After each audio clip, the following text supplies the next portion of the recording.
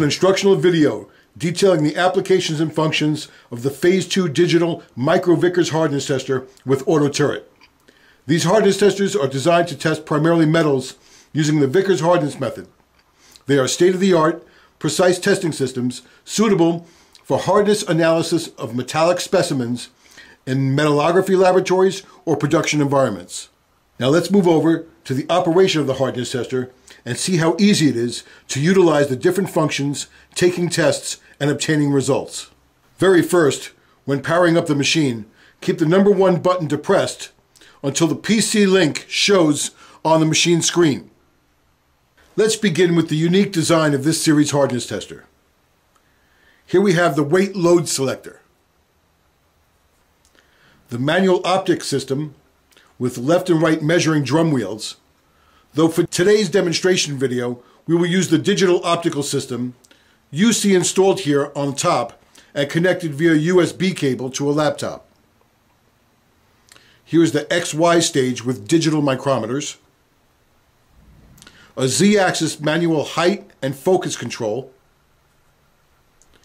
and the control keypad used for A, B, and C version software systems. When using the D version, as we have here, the software is in complete control of the testing procedure.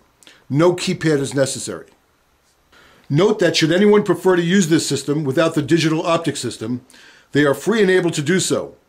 Manual optics with drums are in place and keypad can control all aspects of the test. However, today, it is quite rare to bypass the easy use of a computer screen to see the indentations clearly and work with data in a digital format. Let's take a look at the software interface on our laptop here, which is connected to the digital camera by a USB cable. HV on top left. Go to Measurement Settings. And you will see the force should match your weight selector settings on the machine dial. The test blocks that you have come with the machine have suggested weight loads to use. If you intend to do Knoop scale testing, the checkbox must be marked here, and your penetrator must be swapped from Vickers style to Knoop if you don't have a multi-penetrator turret. You can set upper and lower test limits, reporting format, and others from the screen. Now let's make sure the digital camera system is working and connected. On the top left, click on Capture. Then click on Image Capture Window. Then click on Devices. Select the R-Tray camera. Next, move to Options and select Preview. This will open a preview screen and confirm the camera is working properly. Then close the preview screen. Taking a test is as simple as affixing your test block on the XY table. Bring up the test piece by turning the manual Z-axis wheel until the screen shows the position area you want to test. Continue to bring up the part toward the optics until a coil effect is realized. Once past this point, the surface of the part and the test area will soon be in focus. On the software screen, press HV Start. This will begin the indentation process automatically.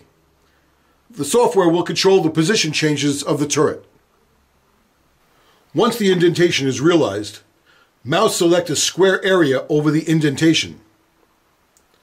Select Auto Measure if using the B or D version software, and the reading will appear along with any converted value if so chosen. If you have an A or C version of the software, there is no Auto Measure button. One must choose to measure either using diagonals or points on the screen. B and D versions come with auto measure. Once your test is completed, you can move the position of the digital stage micrometer to find another position to take another test. Let's review more of the digital interface. On the top right, we have refresh, then auto measure, then measure by diagonals,